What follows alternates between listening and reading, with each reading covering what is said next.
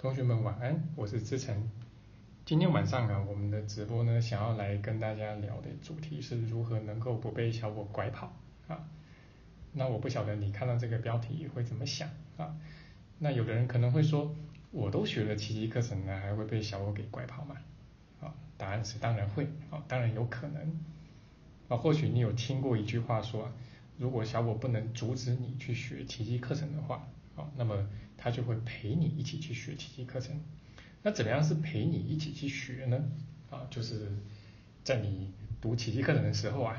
就是他会去扭曲奇迹课程的意思，然后按照他想要的方式去解读。而且其实一直以来啊，这么多年来，我一直看到有很多人都会用这种自以为的方式去解读奇迹课程的。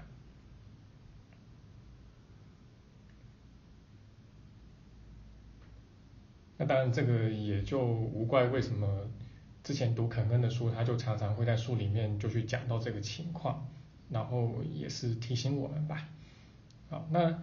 为什么会用自以为的方式去解读奇迹课程呢？主要也是因为啊，奇迹课程这部书它讲的东西，呃，确实是真相的哈。那它确实，特别是我们经过修炼之后，有很深的体会了。嗯，因为以前也接触过其他的法门嘛，那相对于大部分的法门来说，他把小我看得太透了啊，然后他是真的要把小我连根挖起来，他确实会大大的加速我们回家的这个速度，但是这个呢，同时也会对小我当然是构成莫大的威胁啊，所以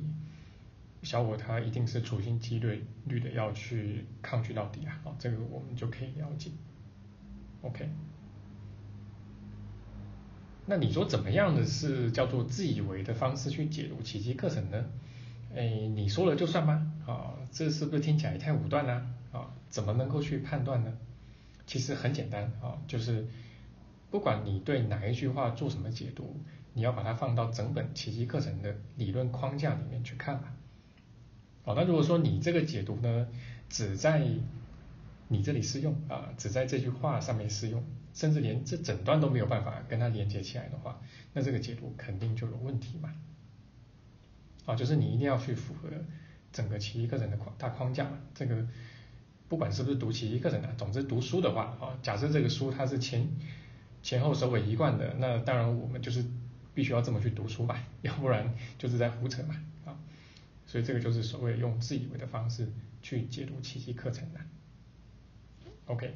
那么。之前我所看过的一些啊，比如说一直到现在都还有很多人试着把奇迹课程拿去干什么，去搞这个心想事成啊，但是这个心里面想的并不是实相，而是幻象啊，好，可能把奇迹课程拿去追求，比如说是金钱啊、事业啊、感情啊、婚姻啊、身体的健康啊等等吧，好，那这个当然就不是奇迹课程的原意嘛。啊，这有可能你学奇迹课程学到一阵子之后，你自然而然的有了这些东西，但是他还是要提醒你，这些东西仍然是幻象，仍然是你要去放下的。啊，那如果说你没有啊，本来这也不是奇迹课程最主要要给你的嘛，啊，所以你还是能够平安。OK，那这个是比较常见的。那还有之前我有一个学生啊，早期吧，然后。早期的学生，他本来上课上的好好的，就有一天来呢，他就拼命的去坚持啊，哎，就说这个呃，奇迹课程他说这个个体的心灵啊，个体的灵魂是存在的哈，他就不断的去坚持说，而且他还引经据典啊，就说这个你看奇迹课程里面啊，他讲到这个上主之子啊，有些地方，啊，他是分明是用复数嘛，啊，英文是用复数，Sons of God。那其实仔细去考察，就是你去听他的描述，就是他为什么会特别坚持哦，这个个体的心灵、个体的灵魂，这个个体性还是存在的呢？好，那其实原因也很简单了啊，因为他是一个爱猫人士哦，然后他家里面养了很多猫，他很喜欢这些猫，然后他不太能够接受他的猫呢到天堂去之后啊，这个猫格啊，就像我们的人格啊就不见了嘛，好，然后。这个这只猫的灵魂跟那只猫的灵魂呢，就全部都化为一体，全部化为乌有了啊，一体了嘛啊。这个没有个体性的话，你就认不出来哪一只猫是哪一只猫了，对不对？啊，你就认不出这只猫本身了嘛，哦，他觉得这样不行啊。当然这个解读就有问题嘛，为什么？因为奇迹课程里面，它虽然的确有的时候会出现 sons of God，啊，就是上主之子们，哎，可是呢，奇迹课程也曾经不止一次的去强调啊，God has only one son，哎，就是上主只有一个圣子。而且他强调过很多次，那你说怎么会一下子又是只有一个圣子，一下子又圣子们呢？诶，其实你仔细去看一看它的原文哦，大概会明白，它只是为了文法上的需要，好，因为这个是英文的表达方式，就是需要有这个单数跟复数的区分嘛。那么它的意思就是说，你所看到的眼睛所看到的这些个这些人啊，然后不管是你的谁哦，认识不认识的，其实他们都是。哦，他们都是上主之子。好，那这个英文里面他们都是上主之子，那这个上主之子就得要写成是复数嘛，就是 sons of God。这只不过是文法的需求而已啦。好，那奇迹课程倒是很清楚的告诉你哦，就是在这个天堂里面是没有自我概念的，当然就也就没有所谓的个体性嘛。好，它是完完全全一体的，然后又跟你强调只有一个圣子嘛。那这个其实就讲的不能再清楚了，OK，那所以奇迹课程他自己也说，就是任何的词语啊，其实都没有办法是百分之百精确的啊。但是以我看奇迹课程的语言哈，呃，已经算是很精确的啦啊，就是跟我以前读过的很多书来比一比的话啊，那但是不管怎么样，幻象没有完美的，好，那语言也是幻象啊，它不可能永远不可能是百分之百精确的啊。所以奇迹课程就会跟我们说，哎，你如果想要小我想要搞事情的人啊，想要想要寻找争端的人，就会找得到争端哦。那但是愿意透过文字作为工具去学习，然后去澄清真相的人，他也一定会学习到真相。OK，所以你看这个是其实是心态的问题，而不完全是文字的问题。OK，那么这些其实都是被小我拐跑的例子。然后就是包括当事人可能还浑然不觉，然后甚至你试图去修正他的时候，他还会非常的抗拒啊。这样的例子其实一直都有啊。那包括之前有遇到过奇迹个人学一学，后来跑去邪教参加邪教的也有啊。OK，那我想说的是啊，就是即使我们在学奇迹课程的，诶，小我其实他还是会常常的，基本上是每天他都会跑来。啊，然后试图要来试探你，试图要把你拉回去啊，然后试图要把你拐跑。然后如果你现在已经是真的在学奇迹课程，你真的有投入在学啊，就是有在操练这个一天一课，有在研读正文的话，啊，那我想我讲的这个事情，你应该也不会觉得太陌生才对啊，你应该确实会有感受到小我的一些活动啊，它的一些蠢蠢欲动才对啊。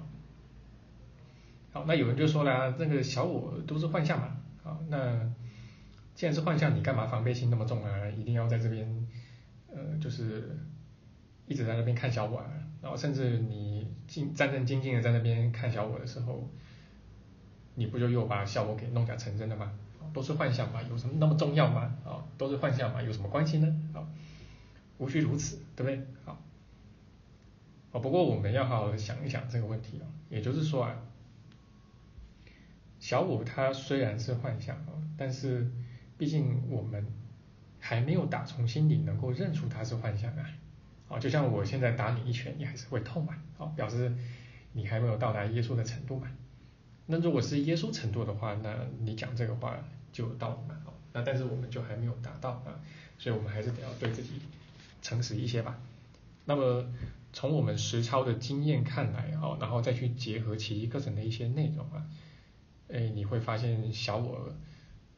虽然只是一个妄念的这么一个思想体系哦，但是他确实也蛮贼的。然后他常常会变出不同的形式，然后试图要骗过你，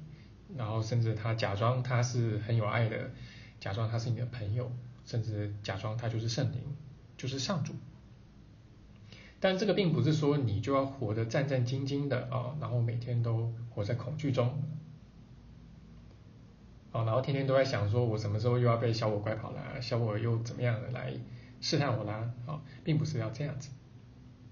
好，那奇迹课程他所说的事情，我们用奇迹课程的话来讲，叫做警醒。那这个你可以在正文的六之五里面找到这么一句话啊，就是只为上主及其天国警醒。那这个警醒的原文呢是 vigilant，好，那这个 vigilant 呢其实就是守夜的意思啦。好，所以你看嘛，就是引申为警醒的意思。那这个警醒呢，特别要注意的是，它并不是要你满怀着恐惧去进行，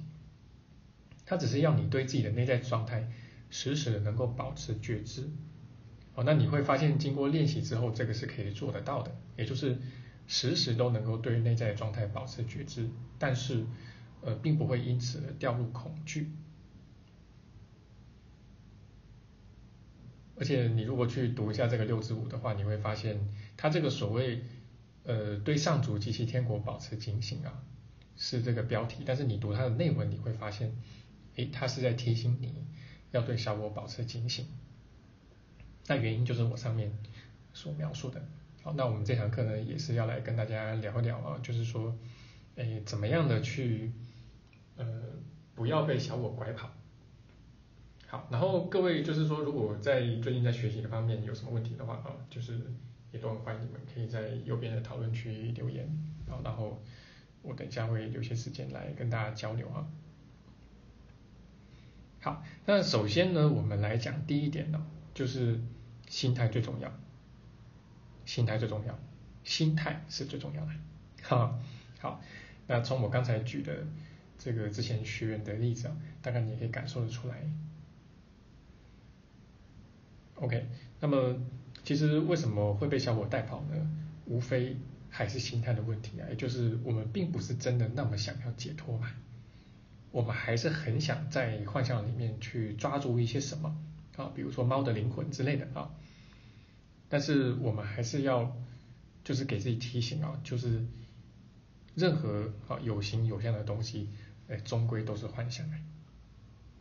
然后所有的这些都不是奇迹课程主要要我们去寻求的东西呢。啊，奇迹课程永远要带我们去找的是实相，而不是幻象里面的任何东西啊。那只要是有形有相的，只要是跟有形有相有关的，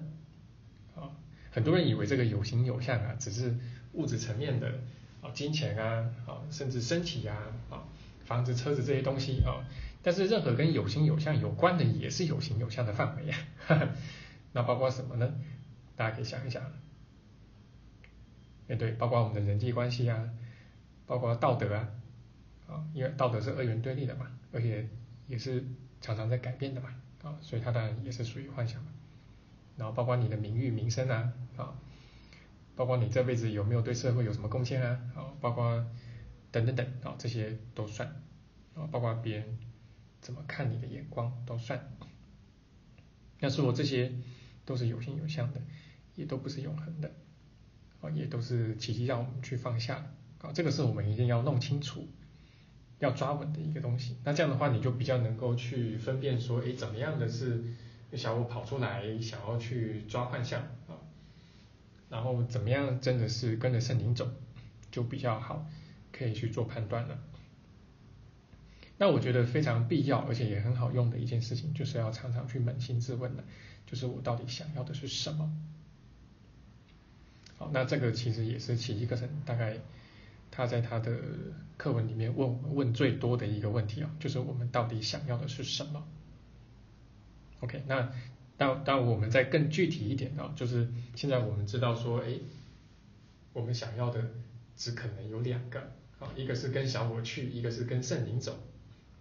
那小我要带你去找到的，当然就是幻象、幻象以及更多的幻象嘛，啊，然后圣灵是往把我们往实相的方向去带嘛。然后这两个啊，以及小我跟圣灵啊，这个我们现在比较清楚了嘛？好，那我好好的想一想，你到底想要跟谁去？好，这个就是到底想要什么的内涵，这个问题的内涵就在这个地方啊。他并不是在问你说你想要的是这个幻象还是另外一个幻象啊？这个幻象有没有比另外一个更好啊？不是这个问题。好，他是要问你你想要的。你是更想要实相还是幻象？更想要的是小我还是上主？OK，那现在我们把我们的心态呢弄对了啊，方向弄正确的话，那么基本上你就很安全的啦。啊，但是心态这个东西呀，它说起来还是比较抽象的，而且很容易有各自解读的一个问题啊。OK，所以我们底下呢，呃，还是要提供比较具体的一个做法是什么啊？但是当然，首先我们谈的还是心态，因为心态永远是最重要的。好，那第二个我会强调的，就是说，嗯，讲到我们前面读课文啊，那。你在研读奇迹课程的任何一句话的时候，都要切记不要去断章取义。好，那这并不是说任何一句话都只能有一种解读啊。那我自己在教学的过程中，有的时候也会觉得，诶，有些话或许可以有不止一种解读方式，但是也都符合奇迹课程的大大框架。好，那这个基本上也不会有太大的问题。好，那么。我也没有说其一个人任何一句话，他一定都是真理啊，都是圣旨啊，啊，我不觉得是这样，肯恩他也不觉得，好，但是主要还是因为啊，这些年来实在是看过太多自以为的解读方式了，啊，那 当然也有不少学员，可能各位就有啊，就是听了我们的课文讲解之后，或者听了我上课之后，有一种恍然大悟的感受，啊，发现说哦，原来他这个写的是这么这么个意思啊。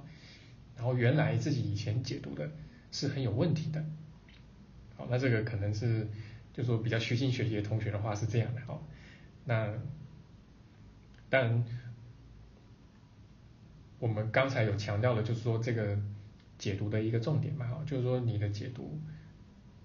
总之要能够符合奇迹课程它前后一贯的组织嘛，啊，它的这个大的框架嘛，理论架构啊。那如果你这个解读，然后就得要否定奇迹课程一半啊，那这个当然就会有问题嘛。好，那奇迹课程它的一个，就是说写作的方式啊，确实也是哦，就是有的时候你光光要解读，哪怕是一句话，哇，它都要牵连到大半部的奇迹课程，这个是它非常有意思的地方。啊，所以你对奇迹课程的整体越熟悉的时候，哪怕你只是读个那么一两段。啊，甚至一两节，你都可以感觉到你好像把整本奇迹课程就都读了一遍。那这个时候就说你去研读它的课文呢，就会更有价值啊。好，所以我们强调的啊就是说这个解读要严谨啊，否则就会变成前后不一致。而且因为奇迹课程它谈的是真相的东西嘛，那真相这个东西啊特别难搞，就是因为差之毫厘，失之千里。好那这些年来其实也看过很多这样的例子啊，那所以呃就是我们在教学方面，然后在解读课文的部分都会尽量的严谨。OK，那么呃一直以来也有些同学就是他觉得正文比较难，所以他就不读正文，他只做练习手册啊。不过这个会有很大的问题啊，因为正文是理论架构啊，那就好像一栋房子的钢筋吧。好那如果说你这个只做练习手册的话，就等于是你盖楼可能会越盖越歪啊，就会有这样子的问题啊。但这个正文呢，确实比较难一点啊。那也为了帮大家，呃，可以更好的去啃下这一块硬骨头吧哈，所以之前啊，我们也花了将近有四年的时间啊，就是包括我跟我们团队啊，那我们把整本奇迹课程几乎啊，几乎都讲过一轮呐啊，然后。这些材料都在我们的网站还有公号里面，而且全部都是公益的。但这个公号啊，最近有点点小问题啊，因为有人去恶意检举啊，就说我们引用了课文啊，然后，所以我们现在不得不把很多东西先下架，然后再重新的去，就是少华正帮我们努力的这个加班加点啊，很 努力的去发文，所以现在大家可能看我们公号会一天有发很多文。就是这个缘故啊。不过我也没有去定罪这位弟兄啊，就是好在这些年来修炼啊，所以也是我就是平常心去看待。那只是告诉大家有这个事情啊，那我们也不定罪他。不过目前在我们公号，大概绝大部分的这个课文跟课文解读都是有的啊。那么这是一个非常宝贵、很好的一个学习的学习方面的帮助啊，请各位一定要好好利用。好，那么这个读课文呢，我向来强调它是蛮重要的哈，因为虽然说课文文字的东西也是一个象征，甚至按奇迹个人来说是象征的象征啊，然后据说离实像是两倍的距离，不过不能否认啊，就是语言跟文字还是我们目前能够使用最好的一个工具啊，就是表情达意的时候啊，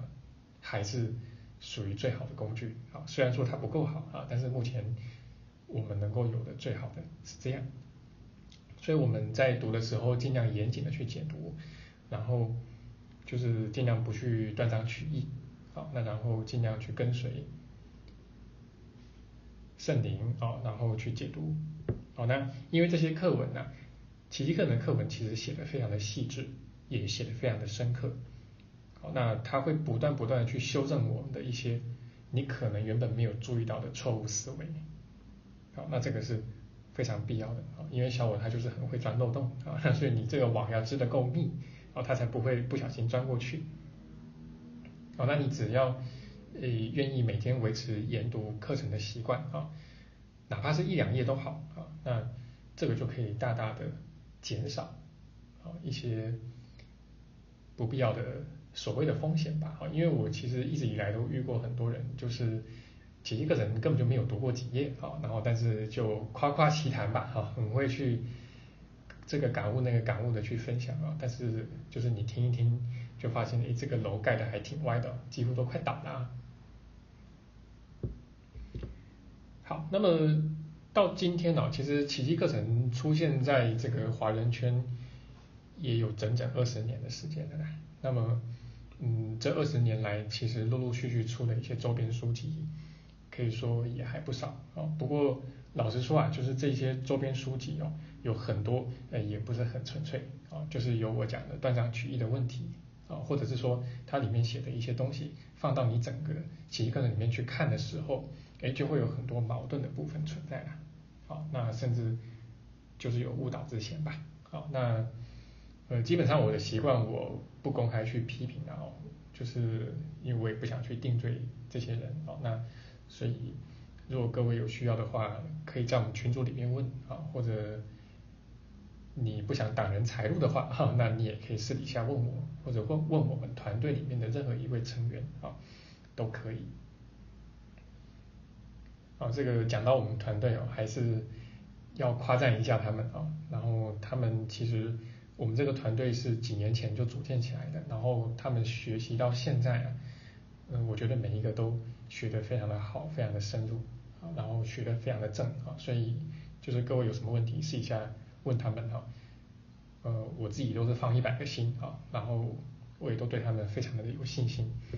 然后也是真的因为有他们啊，所以我们才能够就是说开课啊，然后还有就是维持网络上的一些讨论啊，好，然后群组啊，然后网站公号这些的。包括之前的这个课文解析啊，也是他们付出了很多的时间跟精力，才能够把这些东西都整理出来。好，那我们闲话少叙啊，就是我要讲的意思就是说啊，在这些周边书里面呢，呃，我还是比较推荐各位多读肯恩的书啊。好，那现在奇迹中心呢，也基本上是以翻译他的书为主啊。好，好像这些年这两年比较没有翻译其他的老师啊。那肯恩的书基本上还是最正的啊，然后也是我之所以能够在不到三十岁就能够出来教学奇迹课程的原因呢，就是它也是一个必要的元素啊。如果不是它的书的话，我得要多花很多年的时间才能够把奇迹课程吃透成现在这个样子。好，那么下面第三点呢，我们来讲一下啊，就是说这个小我啊，其实你会发现。你只要真的去修炼奇迹课程的时候，真的开始修炼的时候，他每天都会来试探你，每天他都会来诱惑你，然后他可能会变出各种各样的形式来诱惑你。这种形式不行，就换一种形式。哦，那这个是效果特别厉害的，很会搞事情，然后让你分心，啊，在外面搞这搞那个，然后让你不平安，让你又掉回去啊。那所以这个长久的坚持去操练宽恕，好，那这个基本上它还是不二法门的。那么这些年来，其实我一直以来都会看到有一些人想要抄捷径，啊，学员也有，老师也有，不过基本上啊，一定都是空手而还的。其实也没有比真宽恕再快的捷径了吧？如果你真的真宽恕，而且你可以做到百分之百的话，那么这个当下你就能够直接提升天堂的境界来，直接跟上主在一起来。那你说还有比这更快的吗？当然没有嘛。所以你还想超捷径的话，就不免会掉到小我里面去嘛，这是肯定的。好，所以我强调的就是说，其实还是要踏踏实实的去学习啊。好，那包括去面对日常生活中非常具体的这些课题啊，不管是健康啊，不管是家人呐、金钱啊，还是什么的，然后还是要踏踏实实的去面对自己内在的小我啊，就是那些黑暗面啊，因为这些黑暗你没有去面对，没有穿越的话，是永远不可能抵达真正的天堂的。OK，那。为什么我们这么强调啊？就说这个课文的研读啊，主要也是因为，呃，奇迹课程它课文哦，它会以各式各样的角度哈，各种方式来教你怎么样去把小我给辨认出来。好，那虽然说很多时候我们一时半刻没有办法马上放下小我，好，可能我们还是蛮抗拒的，不愿意当下就宽恕。但不管怎么样，你有把小我辨认出来的时候，等于你就有了一个金钟罩啊，你就安全了。OK。也就是说啊，这个小我他常常都会来试探我们、诱惑我们，但是你有看到说，哎，这个是小我，那基本上你就安全了，好，你就不会一直被他牵着鼻子走，因为这个辨认本身就能够把你跟小我拉开距离，好，那你就不会再被小我给糊弄了。OK，那么总的来说啊，就是小我要带我们去的方向，无非就是分裂啊，然后定罪。然后攻击，然后恐惧，好，然后死亡，然后杀戮，然后特殊性，啊，他无非要带我们去的就是下列的这一些，啊，那所以就是如果他来勾你的时候，啊，那或者说一个念头跑出来，你不太确定这个是小我的还是上主的，啊，那么你就可以回来看一看了，他是不是这这些列出来的中间任何一个啊？那如果是的话，即使一时之间你自我感觉良好，也就是说一时之间你是活的感觉还不错啊，就是赢过很多人，哦在很多方面赢过很多人啊，但是这仍然是小我呀，好，然后总有一天会在小我的世界踢到铁板的，啊，因为小我的世界就是这样的，啊，那呃小我他的带我们去的方向一定是朝着远离宽恕啊，远离圣灵。还有远离上主的一个方向，好，那这个比较可以帮助我们去辨认小我，好，所以总的来说，我们就是要学着在生活中去保持觉知，好，然后知道说，哎，每一个念头到底都是从小我来的，还是从圣灵那边来的，好，那么奇迹课程的课文你多读多操练的时候，呃，就可以大大的增强这部分辨认的能力，好，这个觉察的能力是极为重要的。好，所以当然你学习一个人，并不是小我就退散了啊，是他天天都还是会来拐你，然后你也天天可能都会差出去一些，但是没关系，差出去就再把自己拉回来，好，其实学习啊、修炼啊，就是这么一件事嘛，好，就是每天不断的犯错，然后每天不断的修正自己的错误，如果你都不会犯错，你就不用学了嘛，好，所以一定要勇于。承认自己会犯错，然后勇于承认自己的错误，然后勇于去面对这些错误，然后去修正这些错误。好，那这就是我们今天主要的内容了啊。那如果各位有一些想讨论的、想交流的呢，都很欢迎你们可以在讨论区输入啊。那最后一样呢，容我做一个小广告啊，就是我们在刚好是今年的圣诞节的这一周啊，平安夜这一周呢，呃，我们。又举办了第三期的一个线上线上奇迹训练营，好，那我们设计的还蛮多互动的环节，好，那基本上大致可以补足啊，就是没有开线下课的一个遗憾啦。好，那也请各位多包涵啊。那之后反正如果打得到疫苗的话，就会立马出去上课了啊，基本上是这样。好，也也很期待可以在线下课呃遇到各位啊。那这次的这个主题啊，是关于工作的，好，那也是关于生命置业的。那因为这个疫情的关系，影响到很多人的工作啊。如果不是丢了工作，可能也会被减扣薪水啊。然后工作的内容跟方式可能也有很大的改变，然后可能很多人也会因此面临一种迷茫的感受吧，就是不知道之后这个何去何从啊，包括这个工作跟生活的安排啊，怎么样去做抉择啊，这个会是呃，就是我们这次工作坊的主题。好，然后我们也会陪伴大家度过平安夜跟圣诞节，好，那这应该会是一个非常温馨的工作坊。那如果各位有兴趣的话，现在我们还在早鸟优惠中啊，那各位可以在我们的公众号，然后还有教学网站里面，呃，可以看到啊，就是关于这个呃工作坊的一个详细的，好，那还有报名的方式，啊，那如果有什么问题的话，也都可以。也很欢迎可以私私讯我，好，那我都会来为你详细的解答。好，那就谢谢今晚你的聆听，好，那希望今天的内容对你的学习能够有所帮助。